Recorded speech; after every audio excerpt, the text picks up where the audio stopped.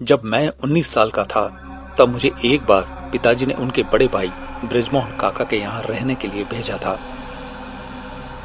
काकी की दो महीने पहले ही टीवी से मृत्यु हुई थी और काका बहुत अकेले थे।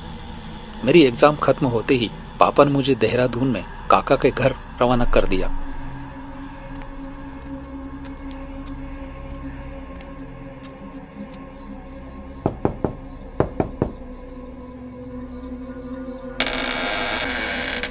अच्छा हुआ तुम आए पुनीत बेटा।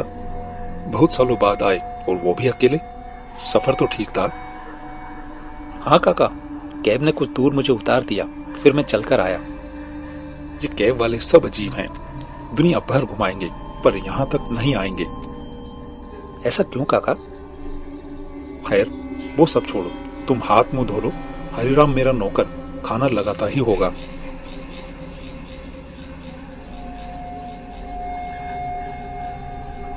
कमरा तो अच्छा है, काका का। तुम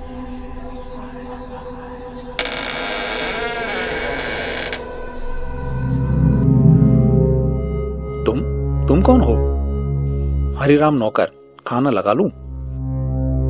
हाँ हाँ ज़रूर। नीचे हॉल में आ जाइए। आता हूँ। काका का नौकर सौ साल का लगता है।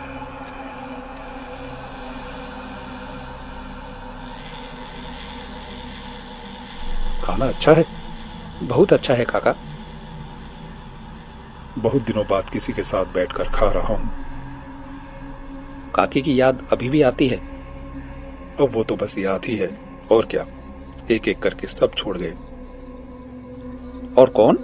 तुम्हारी काकी की बहन भी यहाँ रहती थी और उनका पति और लड़का पूरा का पूरा परिवार एक एक करके पिछले सात सालों में गुजर गया। इसी घर में सबके सब।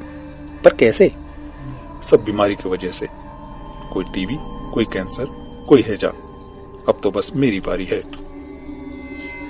ऐसा मत बोलो काका। खैर अच्छा हो तुम आए। कुछ दिन के लिए तो मन बहल जाएगा। आराम से रहो बेटा।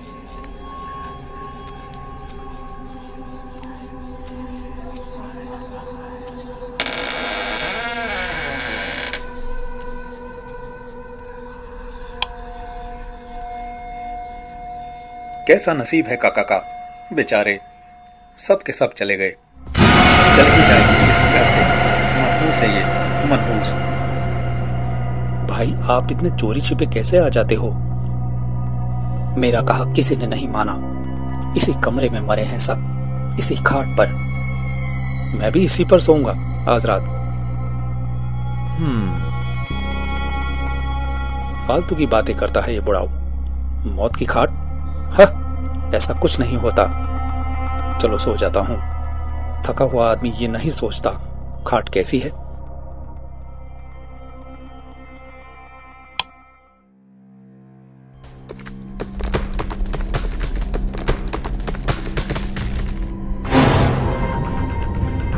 ओह, इतना अंधेरा क्यों है? यहाँ तो घुटन सी महसूस हो रही है। इसी कमरे में मरे हैं सब, इसी खाट पर। मनहूस है ये, मनहूस। ये वाकई में मनहूस लग रहा है। मैं इस खाट पर नहीं सो सकता।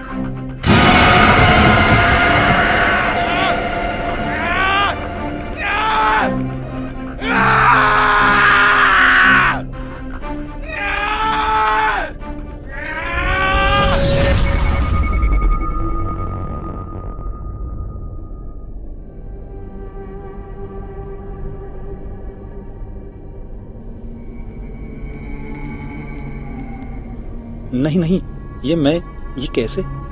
ये नहीं हो सकता।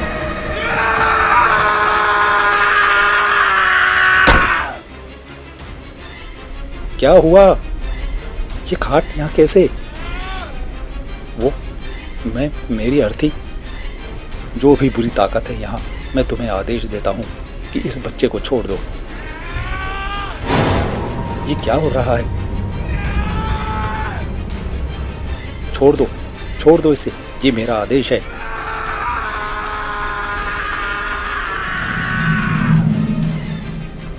मैं एक मिनट भी यहाँ नहीं रह सकता। फ़िक्र मत करो बेटा, सुबह होने ही वाली है। बाहर हॉल में थोड़ा आराम कर लो और फिर चले जाना। पर जाने से पहले तुम्हारे काका को यह बात ज़रूर बता देना।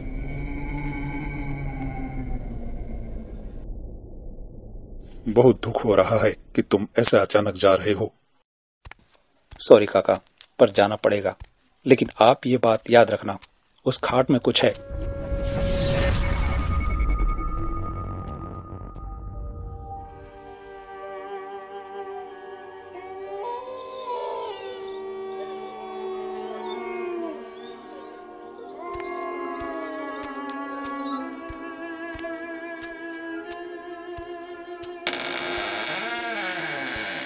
सबने मुझे कहा तुम में कुछ है। अगर है तो उससे कहो मेरे साथ भी वही करे, जो सबके साथ किया। और रखा ही क्या है?